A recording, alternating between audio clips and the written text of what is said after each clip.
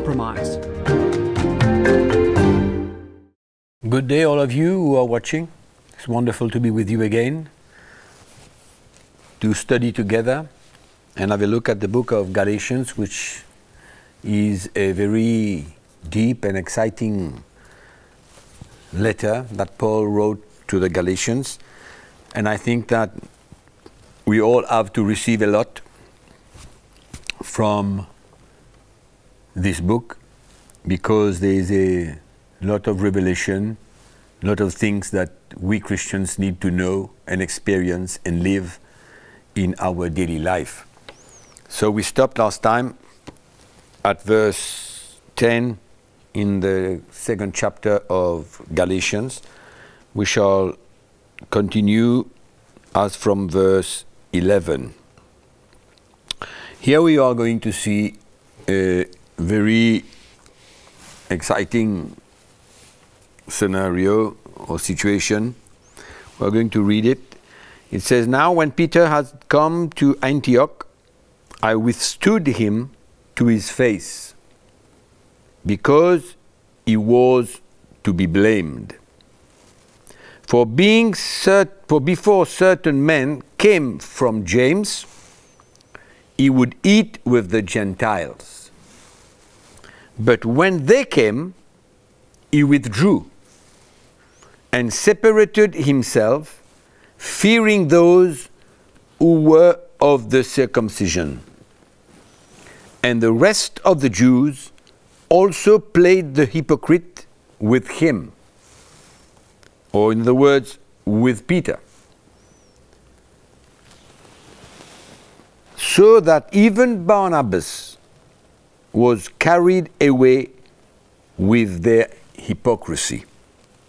But when I saw that they were not straightforward about the truth of the gospel,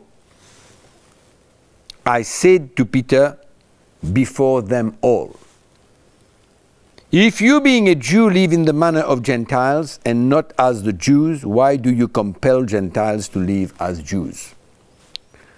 We're going to explain that a little bit later. We who are Jews by nature are not sinners of the Gentiles, and it continues. So, what's the situation here? Now, let's say first that this situation probably came about before the problem that arose in Antioch in Acts chapter 15. We know what happened because when there was there were Christians from Jerusalem who had come to Antioch and had tried to influence many Christians that circumcision in the flesh was the way to salvation. And we know that Paul and Barnabas went to Jerusalem to meet with the apostles to discuss that situations. Why did they go to Jerusalem? Because these Christians came from Jerusalem. So they went to Jerusalem to meet with the apostles and the elders of the church. And we know the story. You can read it in the book in, in Acts chapter 15. What happened is that then Peter and the apostles, what did they do? They approved and gave their support to the apostle Paul. What support? Paul came and said, Listen, guys, there, there are some Christians from Jerusalem who had come there with a doctrine that is not the truth. In fact, it's a doctrine that goes against the freedom and the liberty in Christ. It goes against the doctrine of righteousness by faith in Jesus Christ. So he discussed that with the apostles, and the apostles said, Okay, you are right. We are going to give you a letter so that you will go back to Antioch and you will declare that, okay, we understand there is freedom in Christ, there's no need to be circumcised in the flesh to obtain salvation. That was the situation.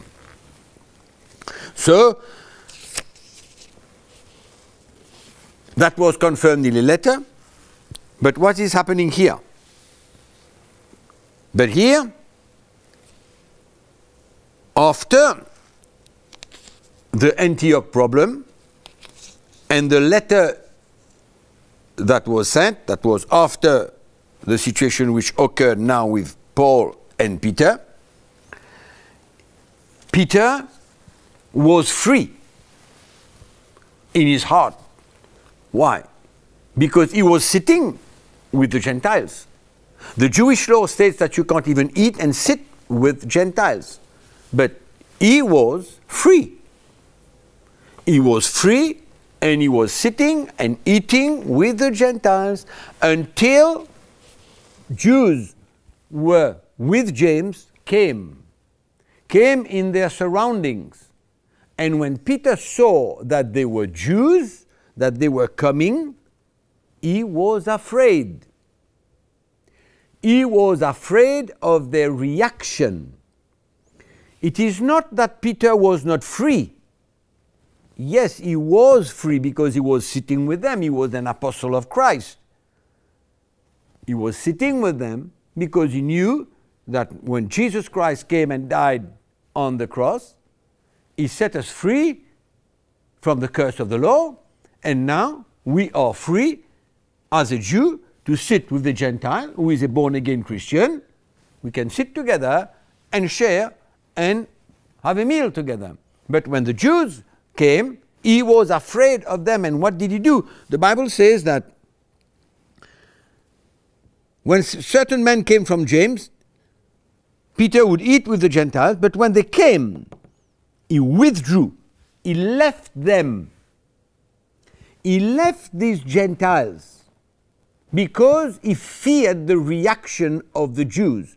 These Jews who would stand for Judaism. They would not be happy. They knew Peter. Hmm? They was of the church of Jerusalem. These Jews were probably not free. And they saw Peter.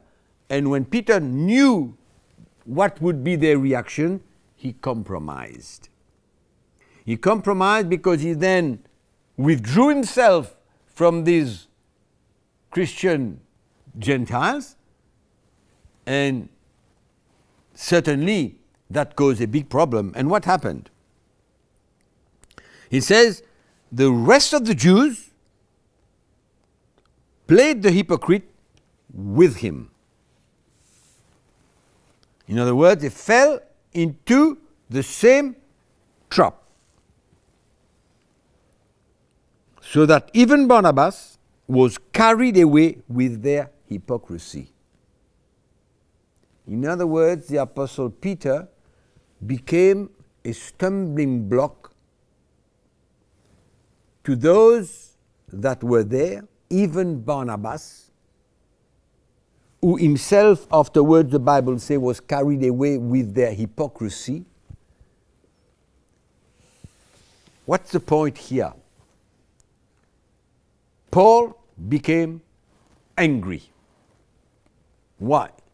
Because Peter, who was free from the law, because of his fear of the reaction of the Jews, he compromised. In other words, he became, he acted like an hypocrite because he did what he did not believe for fear of the Jews. He did not believe that it was wrong now for a Christian Jew or for a Jew Christian to eat with a Christian Gentile. There was no problem in that. He understood that. So he was free. But he could not face the opposition and the persecution, and he acted with hypocrisy. So he feared the reactions of the Jews, and yet he was free from the law. That was the reason of the reaction of Paul. To oppose him and stand him to his face. He rebuked him, he confronted him, he opposed him straight to his face in front of everybody.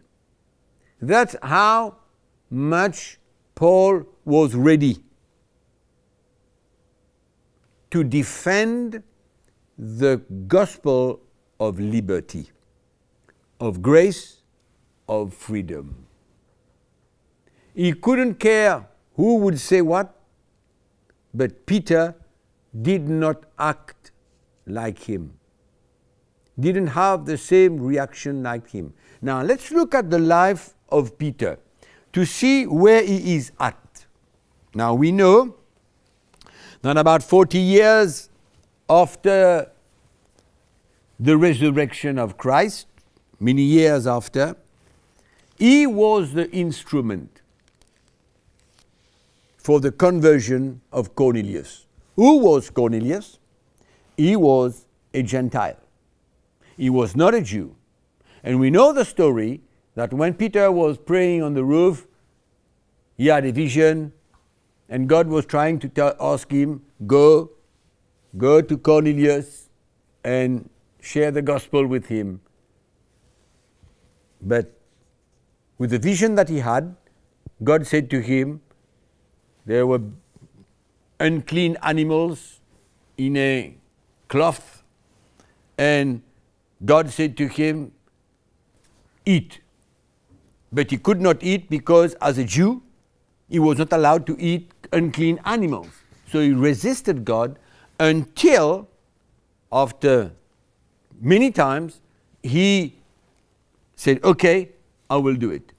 And at the same time, we know that there was a knock at the door, and some people came from Cornelius to the house of Peter asking him to go to Cornelius' house so because he wanted to listen to what Peter had to tell him. The Holy Spirit convicted Peter at that moment that he had to go to Cornelius, a Gentile who wanted to hear from Peter. And we know the story that when Peter went there and as he started to speak, the Holy Spirit came and fell upon Cornelius, and the whole house was born again. Cornelius was the first Gentile to be born again. But you see, Peter, as an apostle, was still struggling with the law.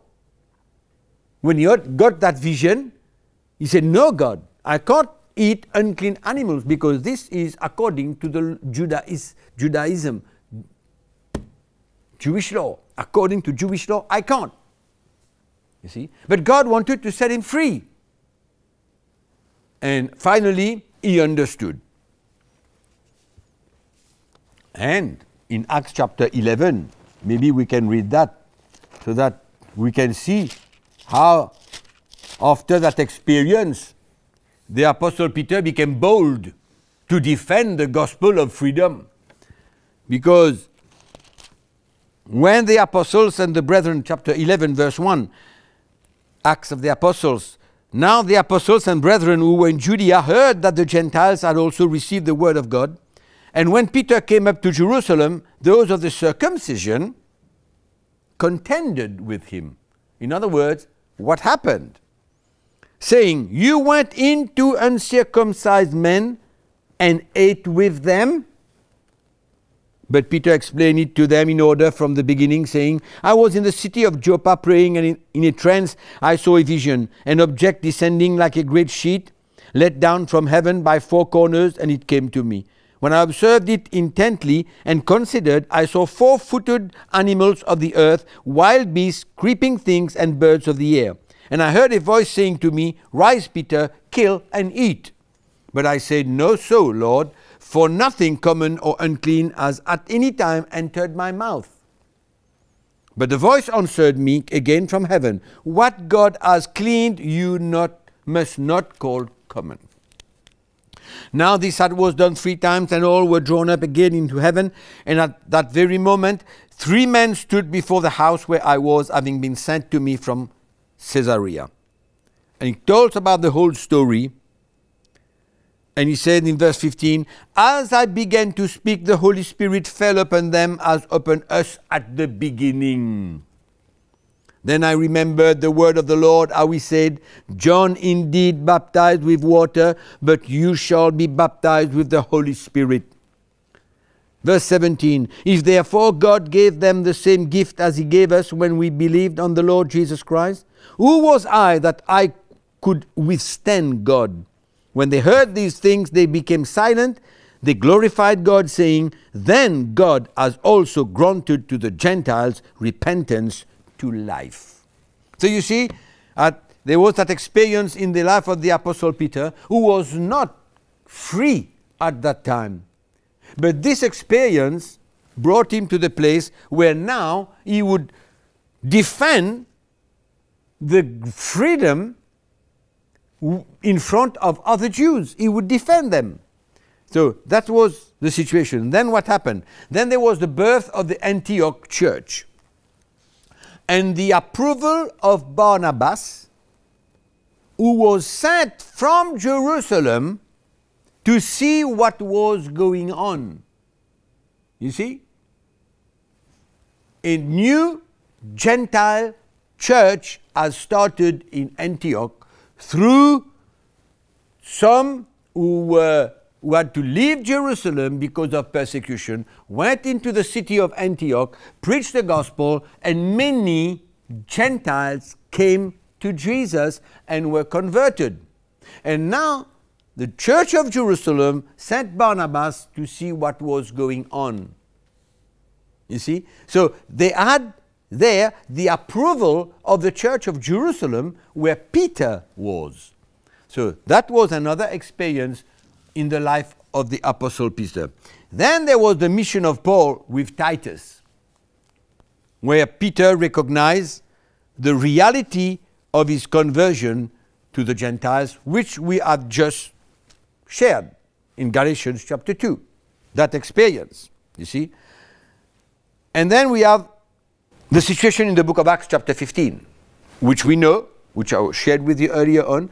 So we can see the different steps in the life of the Apostle Paul, who was not a free man as an apostle. He did not receive the full revelation of what happened on the cross about our freedom in Christ and how we are now cut off from the Jewish faith or Jewish religion with all its laws and obligations and principles. We are now cut off. So it took a time in the life of the Apostle Paul, step by step, he was being set free to the point where after a time he was free. In the book of Galatians, here what we read, he was free, but he had the fear of men. He was free because he was sitting with them, eating with them. So he was a free man, you see. So that's a fact that Jesus did not give to the first apostle the full revelation about freedom in Christ. It is step by step God brought them to the freedom in Christ. I think that is clear. He did not enlighten them about the conversion of Gentiles. They only still believe that Jews will have to be born again, but Gentiles were excluded. You see? So, step by step, with all the experience that the Apostle Peter had, they came to the place where slowly but surely they became free in their hearts and they started to understand fully the freedom of the Christian. But Paul was not like that. Paul was on his way on the road to Damascus. On the road to Damascus. What happened to him? Jesus met him. And Jesus got him to be born again and revealed to him, as he says in Galatians chapter 1, verse 11, revealed to him about Christ and his work on the cross. So freedom was something that was clear for the Apostle Paul we shall read in the book of Galatians, chapter 3, later, where he says, Christ has redeemed us from the curse of the law. See? Paul was a free man. He was a completely free man. And Peter came to that freedom. Because when you look at the epistles of Paul, and when you look at the epistles of Peter, which he wrote at the end of his life, we see that Peter was also a free man in the sense that freedom in Christ had become real to him. So that's the difference between Paul and Peter. Peter, that revelation came by steps. Paul was enlightened. He was enlightened, enlightened in the revelation of God's grace, God's liberty, God's freedom for the Christians. Okay? Now let's go back a little bit in this um, situation, what happened with Paul and Peter. Uh, Galatians chapter 2. We can, we can read from now 14. When I saw that they were not straightforward about the truth of the gospel, we understand why. We shared it. I said to Peter, before them all. If you, being a Jew, you live in the manner of Gentiles and not as the Jews, why do you compel Gentiles to live as Jews? Now, Paul declares here clearly if you, being a Jew, you live in the manner of Gentiles. That means to say that you can sit with them, you can sit with anybody, you are free. Okay? You are a Jew, but you are now free from the law of the old covenant. You are no more bound to the law of the new covenant. You are still a Jew, but a converted Jew, being free from the curse of the law, you have been born again. Now you understand that you can live with a Gentile, eat with him, share with him, fellowship with him. Now, if you as a Jew, you know that you are free, and he says now, why do you compel Gentiles to live as Jews? It is by his action for what he has just done when the Jews came, he was with the Gentiles. He left the Gentiles and removed himself from their presence. In other words, he was saying to the Gentiles, okay, we are still supposed not to be together. That's what he's saying.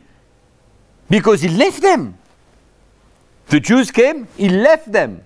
So he's saying to the Gentiles, I am a Jew, I can sit with you, I am free, but now you and I, we must be separated. You must live, we must now live like a Jew.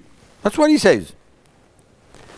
If you, being a Jew, you live in the manner of Gentiles and not as the Jews, why do you compel Gentiles to live as Jews?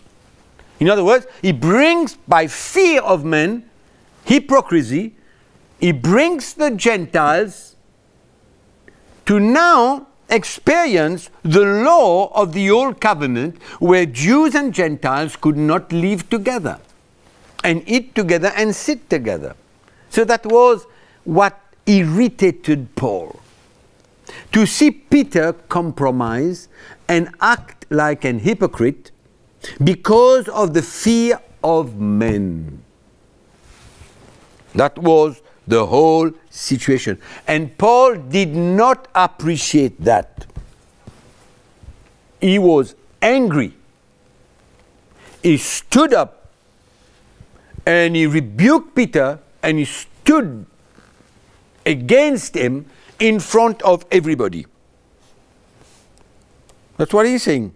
In front of everybody. He, did, he, he didn't fear. You, can you see how, when God's revelation is in your heart and you are convict such you have such conviction to maintain that truth, to defend that truth, how you can rise up in the spirit and confront and stood against whosoever, whosoever would try to withstand him or go against the truth, and mainly when you know, you know the truth, but you act against the truth because of the fear of men. That's what irritated the Apostle Paul, I mean, seriously. And uh, he was not afraid to rebuke Peter, who was the first apostle, the leader of the church of Jerusalem at this time. He was not afraid, stood against him, and he told him the truth. And I believe that this is what relationship is all about. And so many times we cannot stand for the truth. Hmm? But we have got to grow. Pastors, leaders of churches, when the truth is revealed to us, we have to stand for the truth, defend the truth of God's word. And this is what the Apostle Paul did. And you say, but he shouldn't have done that before everybody. But you know, when you are led by the Holy Spirit, when the Holy Spirit tells you to do something, Peter did, uh, Paul did not act according to his flesh or reacted because of his anger. No. I believe he was led by the Holy Spirit. He stood against Peter and he spoke the truth. And I believe that this was a way or a platform for the Apostle Peter to grow and to have victory. So I believe that this is a nice example where the men of God shall stand for the truth and even Christian stand for the truth and not being concerned about what people say. So that's the end for today. May God bless you, and we shall continue next session. Thank you.